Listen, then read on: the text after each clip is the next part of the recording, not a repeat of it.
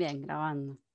Estamos con Gabriel Dalatorre, él es director y es este, escritor, también productor, este, ha publicado varias series y un documental en formato audiovisual. También nos contabas, Gabriel, que sos un gran lector, así que te presentamos, te damos la bienvenida a Giramundo Televisión Comunitaria. Gracias por recibirnos. Y bueno, contanos un poco de la nueva serie que se puede encontrar en la plataforma Contar. ¿Estoy bien? Muy bien, perfecto. Sí. en la plataforma Contar. Este, es una serie, de una ficción distópica. Se llama Nébulo, este, ha salido en otros medios, has comentado un poquito, pero queríamos que específicamente nos cuentes para Giramundo, bueno, de qué se trata, cómo han trabajado, cómo han trabajado en la provincia en el rodaje de esta producción audiovisual de ficción. Bueno, la serie se llama Neulo y es una serie específicamente dirigida a un público juvenil. Supuestamente ganó un concurso que era para público juvenil. Eh, igual yo personalmente creo que ya los públicos no se diferencian tanto que una persona de un adolescente puede mirar Breaking Bad, que no es una serie para adolescentes y le gusta. Entonces pensar los públicos así como fraccionados, como que para mí eso ya dejó de funcionar un poco. Eh, la rodamos acá en Mendoza, la serie, en la montaña, en Cacheuta, en un sitio que está buenísimo, que yo creo que lo llaman la casa del gobernador, pero no, no estoy seguro, se llama así, una casa de piedra que está ahí cuando vas a Cacheuta, cuando pasas el segundo o tercer puente, una casa que si vos has sido un niño mendocino, siempre la veías y decías, ¿qué pasará en esa casa? ¿Qué habrá casa? Media Creo que era la casa de vacaciones del gobernador, que ahora está abandonada, y que es un lugar buenísimo para filmar, porque mm, bueno, la serie trata sobre la aparición de un virus que afecta a las personas mayores de 20 años, dejándolos en coma. Entonces el mundo queda como a cargo de los menores de 20.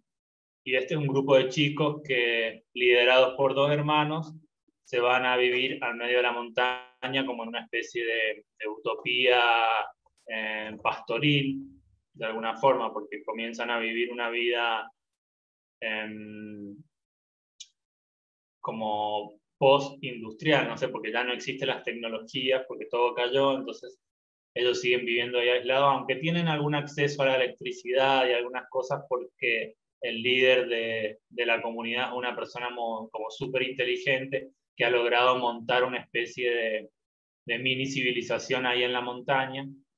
Y a partir de ahí empiezan las luchas entre él y su hermana, porque él pretende, digamos, recuperar a todos los adultos que están en coma a través de un, suero que le permita combatir el virus. Y la hermana tiene una posición más de, bueno, el virus es como el diluvio universal que nos permite empezar todo de cero y es una cuestionadora del paradigma existente. Entonces, para ella más o menos es una especie de salvación este virus porque le permite empezar de cero y bueno, ahí empiezan como unos debates y unas luchas de poder entre los personajes que viven ahí en medio de la montaña. Gabriel, contanos eh, sobre el proceso de trabajo, digamos. Primero, ¿cómo, cómo vos armaste el, guion, guion que tal vez, bueno, este, leía algunas notas en donde recuperas aportes de literatura de ficción este, inglesa.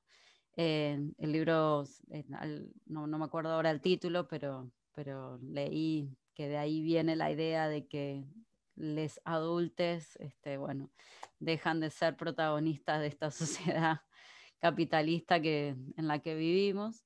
Em, pero también, digamos, cómo has ido pensando el rol de las y los jóvenes, eh, más allá del libro que, en el que con el que trabajás, cómo has pensado vos en esta serie el rol de, las y los jóvenes como protagonistas de la historia. El libro que decís es El Señor de las Moscas, me parece, ¿no? Que es de William Golding del año 54, me parece. Después hay otro libro también que a mí me gustó de niño, que es, creo que se llama Dos años de vacaciones, que es de Julio Verne, y es sobre un naufragio en el que sobreviven solo los niños, entonces se instalan en una isla y viven ahí. Pasa que es como con un tono más divertido, como que se hace una casa en un árbol y viven ahí sí, con poleas y no una cosa más divertida.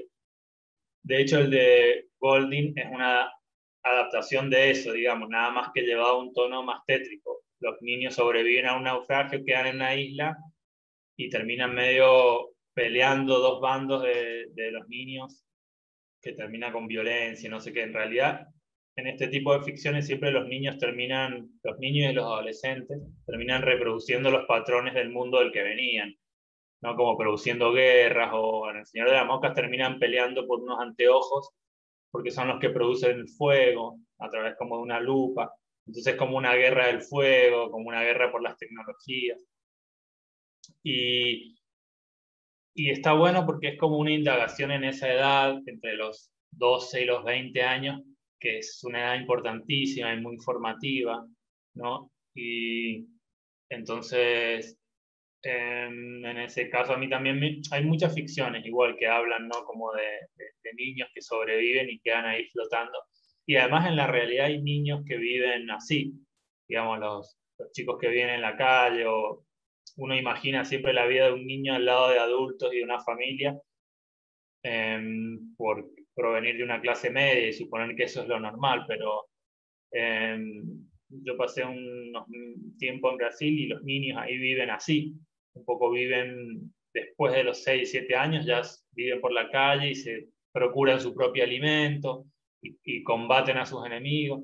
Entonces, también esta idea de... Mm, es un, poco una idea de los adultos que controlan a los jóvenes que tiene que ver con la clase social a la que uno pertenece y, al país y a la cultura que uno pertenece también.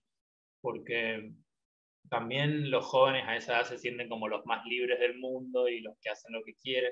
Es como muy extraño, ¿no? En ese sentido. Y trabajar con jóvenes estuvo buenísimo porque todos los protagonistas son, los actores son menores de 20 años y niños, también hay un grupo de chicos, porque también es en, en como que el, impacta muy diferente en los niños muy chiquitos el suceso, como en los que tienen 5, 6, 7 años, que en los que tienen 15. Digamos, los que tienen 5, 6, 7 años se, de alguna forma en, se olvidan muy, mucho más rápido cómo era el mundo y cómo era la vida antes, por ser más niños, ¿no? Y entonces no les importa tanto recuperar el pasado, sino que se dedican más a vivir ese presente también hay un mensaje en la historia que es como, como lo corto de la vida, ¿no? En, en Nébulo, cuando uno arriba a los 20 años, es como que se activa el virus y entras en, una, en un coma. Entonces la vida llega hasta los 20 años.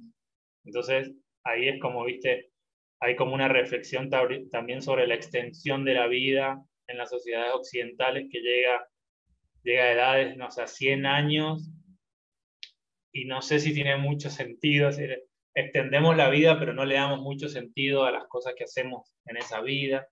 Yo creo lo que intenté hacer mucho es, la ciencia ficción te permite eso, ¿no? Plantear como situaciones em, hipotéticas que te permitan reflexionar sobre cuestiones políticas o sociales o filosóficas, porque acá también se da como una disputa entre los dos hermanos, que es muy típico de hermanos, ¿no? Pelearse, y hay también una disputa de género, porque el que manda es Alex, que es varón, y tiene acceso a la tecnología y él quiere curar y está seguro de eso. Y por otro lado está como el punto de vista tal vez más femenino, que tiene que ver con la intuición y tiene que ver con, no sé, con la capacidad de adaptación y de curiosidad, es como, no sé, como una forma de inteligencia distinta en la hermana, que se plantea eso, ¿no? Que se plantea, bueno, ¿qué tal si este virus no es un castigo, sino una especie de solución al mundo como estaba. Usted ella tiene el punto de vista de que el mundo, que es un punto de vista bastante certero, ¿no? De, de los humanos destruyendo el mundo y alguien que tiene que venir a pararlo. Es muy de la ciencia ficción eso, ¿no? Como, bueno, entidades extranjeras de otros planetas, en este caso es una entidad biológica que decide detener al ser humano concebido como un, como un virus, a su vez un poco destructivo. También me gustaba la idea de trabajar como con, con, ¿cómo se diría? Como un storytelling, como contando una historia, ¿no? como con una sucesión de, em, de obstáculos que deben ser superados y después pasa esto y después vos te quedás en el capítulo 1 a ver qué termina pasando, como la importancia de la, de la narratología en, en, en, el cine. Últimamente ha pasado que Muchas cosas que son eh, como de ambiente o de la trama pasa por la psicología de los personajes. Y acá lo que intentamos con Lucía, que fue la otra guionista, fue hacer también una trama que, que avance a partir de acontecimientos y, que te mantenga enganchado por eso, de una forma. Ya que nombras a Lucía como guionista, te pregunto, digamos, ¿cuándo ustedes arrancaron a escribir esto? ¿Cómo, este, cómo les, les, digamos, cómo lo enfrentaron en el contexto de pandemia? Porque, digamos, uno lee el, el, argumento y trata de, mirar el tráiler desde, desde la pandemia, que es lo que nos pasa a nosotros. Claro, es que la pandemia lo cambió todo en, en el sentido de dónde mirás toda esta ficción. Nosotros la empezamos a escribir en el 15, en 2015 más o menos, creo, incluso antes. Y tal vez si hubiéramos escrito una ficción sobre un virus que afecta a los de Acuario, no sé, el virus, el COVID hubiera afectado a los de Acuario. No sé qué, qué, impacto tenemos sobre la realidad con las ficciones que escribimos también. Pero parece que había algo en el aire también, ¿no? Que, que se hablaba, porque sí o sí queríamos escribir algo distópico también desde Mendoza, ¿no? Porque siempre las ficciones distópicas, viste, llega la nave extraterrestre y llega a Washington o a Nueva York, nunca llega a Reducción o Libertad en Rivadavia. Entonces, en ese sentido, a mí una película que me gusta mucho es Sector 9, que es una película también sobre extraterrestres, una nave extraterrestre que llega y se instala en, en Sudáfrica, me parece. Y eso es re interesante porque fue la primera peli que yo vi en, en el, en, que te narra la periferia también, la periferia o mm, lo no central, ¿viste? Que para mí es donde se encuentra, si hay una especie de esperanza con respecto al ser humano, se encuentra ahí, fuera de los sitios centrales, ¿no? sino donde las personas de alguna forma están sometidas a una especie de amateurismo auténtico, no sé bien cómo llamarlo, pero eso también era un punto interesante, como bueno, vamos a narrar una Mendoza eh, abandonada por las personas, desierta, avanzada por, por la vegetación. En ese sentido también era divertido. Bueno, vamos a ver cómo podemos mostrar nuestra ciudad la ciudad en la que vivimos, más bien, no sé si es nuestra, con, desde un punto de vista cinematográfico, porque, porque eso es lo que hace el cine también, narrarte una ciudad como la, la Nueva York de Woody Allen, ¿viste? Es, o Buenos Aires también, que ha sido narrada desde distintos puntos de vista del cine y después vos los reconoces. Eso. Hay una cuestión cultural en la narración de la idiosincrasia, si querés, de la ciudad o de las personas que viven en la ciudad, que para mí es muy importante con el arte. Y en Mendoza mucho, no, no, sé si existe eso, si se ha dado. Nosotros también con Lucía escribimos una novela, se llama Las habilidades inútiles, donde también la ciudad es como un personaje. le pusimos otro nombre, una ciudad inventada, pero es en el fondo Mendoza, ¿no? Y hay una narración ahí también de las idiosincrasias provinciales, de la idea de vivir al lado de una montaña tan grande, ¿no? Yo ahora, en estos últimos años, he estado viviendo en una ciudad en que tiene un puerto y es, es re diferente, ¿viste? La, la, la, concepción mental del ciudadano que vive al lado de un puerto donde llegan barcos y personas de todo el mundo y hay un intercambio permanente, a una persona que vive al lado de una montaña que es como una barrera eh, geográfica y metafísica, mental, no sé, que también hay algo ahí también que está bueno narrar. O sea, ellos se van a vivir a la montaña y la montaña los recibe, pero también em, la montaña es fría, ¿no? Hay, como un, hay como una situación ahí de vivir en la montaña que te transforma. Bueno, esperemos entonces poder este, ponernos a, ver la serie que está de manera online por el momento en el canal estamos eh, pasando otra serie que, donde vos también eh, trabajaste, dirigiste este, las, las, Viajadas, se llama, atravesada por una perspectiva de género muy interesante. Em, creo que vi dos capítulos porque vamos por, ahí, está los viernes, la pueden, la pueden ver. Eh, contanos mm, respecto a esta producción de estreno y la que comentábamos que estamos pasando en el canal, bueno, ¿cómo está la situación de la producción nacional? ¿Cómo evaluás vos que, que se viene trabajando y qué políticas te parece que ayudarían a que este tipo de producciones provinciales puedan ser más, este, no sé si asiduas es la palabra, sino que haya más producciones locales? Em, y no sé, es un poco difícil la situación porque siempre que, estamos en una crisis, lo primero en volar son todas esas cosas, ¿no? Porque la cultura es prescindible en un punto, desde el punto de vista de un funcionario político, supongo. No tiene tanta... Em, no sirve tanto, qué sé yo, para ellos, obviamente, ¿no? Nosotros, todas em, las viajadas, la Pixelada, que es otra serie que también ahora está en internet, que hice, que hice yo con la misma productora, y Neulos resultaron de concursos nacionales del INCAA, que no sé ahora, creo que fue cambiando de nombre y es otro instituto, y fue posible gracias a eso. Neulo nosotros ganamos como en el 2015 y tuvimos que luchar mucho para, para lograr que, que nos den la plata que habíamos ganado, porque también Em, son circuitos por ahí que tenés que tener mucha precisión y mucha, mucho interés también para lograrlo.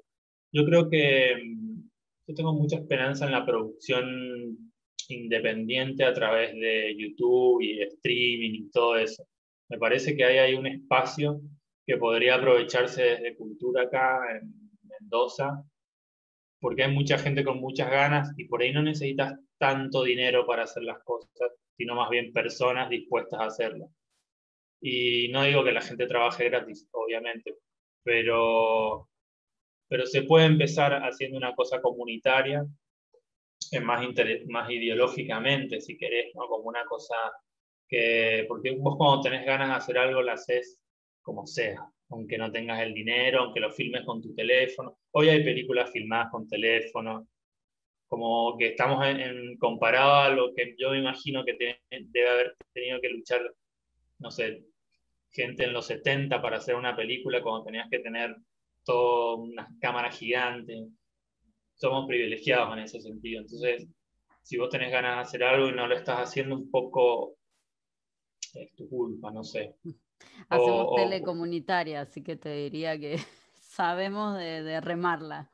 Claro, exactamente, remarla. Y no digo que, sea como un mérito, vamos, remarla, superar los obstáculos. También tiene que ayudarte, ¿no? También tienes que tener un apoyo y también un apoyo, yo creo a mí Internet en un sentido me liberó mucho, en el sentido de consumo cultural. Em, tuve acceso a muchas cosas que en la Mendoza de los, de los 90, del 2000 no podías a libros, ¿no? Que existen ahí dando vueltas por internet. Entonces todo eso también tiene que ser valorado, como vos hoy podés aprender, em, no sé, a, a, escribir, a programar viendo videos de YouTube. Puedes aprender un lenguaje de programación o puedes aprender lo que quieras a través de tutoriales. Yo aprendí a editar viendo tutoriales en YouTube. Y entonces también hay una cosa de autogestión incentivada a través de la web que cada vez lo pierde menos porque está avanzando la publicidad y el consumo en todos esos contenidos, así que yo diría que aprovechen esta década porque la que viene va a ser una década más de censura y de, bueno, querés esto, tenés que ver 40 publicidades y tenés que pagar no sé qué, qué yo, yo recuerdo la internet de los 2000 en que era como un quilombo todo, pero ahí estaba todo gratis y libros y cosas, no sé, fue como una especie de renacimiento para la gente que vivimos en las provincias, ¿no? que tenemos siempre la desventaja material, tal vez la ventaja epistemológica, como decía una amiga mía, pero siempre la desventaja material, ¿no? el acceso a las obras o las cosas. Hoy en día me parece que estamos ahí, por eso el, lugar de la periferia me parece un lugar re interesante hoy porque estás refugiado del estrés y de la locura de la ciudad y de los circuitos de amistades y contactos que existen en las ciudades. Estás vos en tu propia pequeña ciudad sin todo aquello, yo creo que puedes construir una obra como más tranquilo y más, más focalizado en tus propios intereses, no. Pero creo que hay mucha potencialidad en la provincia y en todas las provincias para hacer historias y contar. Bueno, Gabriel, te agradecemos por este tiempo, el espacio, por, también por las producciones, este material este, que ojalá circule, bueno, por todas las, no solo las plataformas, sino también este, por el cine cuando se abre el cine de nuevo, este, si podemos ir a la nave, también invitado, está abierto siempre el espacio de Giramundo y muy interesante también tu perspectiva porque para nosotros el cine independiente es una apuesta también política, creemos que el Estado debe acompañar con políticas públicas las diferentes producciones de las temáticas múltiples y de las que cada director y productor este, quieran, o productora también. Así que, bueno, siempre este, dejamos abiertas las puertas para seguir dialogando, participando y, difundiendo eh, materiales que tal vez en la telecomercial no están, pero que para nosotros tienen un gran valor. Así que gracias. Bueno, dale, muchas gracias por el espacio y nos veremos pronto. Todas las historias cuentan la misma historia. Salir de tu casa. Descubrir el miedo.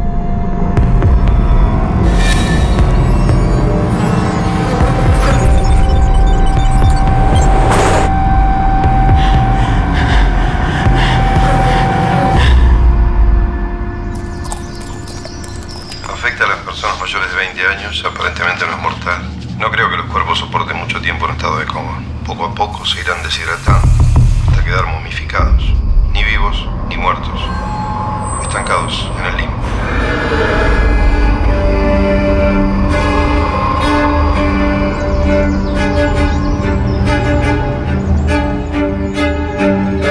Podés tomar decisiones por todo el mundo. Su cuerpo y su decisión. ¿No es un límite que deberíamos respetar? Paciente número 28. Hombre. 20, 25 años. Mujer. 20 años. Sistema límbico activo, corteza cerebral funcionando. Alex va a encontrar una cura. Es un genio y quiere salvar a toda la humanidad. Y tu mamá y todos los demás se van a quedar así para siempre. ¿Sabes por qué? Porque el mundo se fue a la mierda. Al suelo. Ustedes se ven como formaditos, bien alimentados.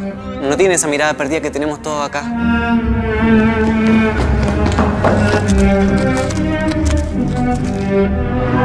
Entonces para vos el virus es como una especie de cura al sistema opresivo, capitalista, patriarcal.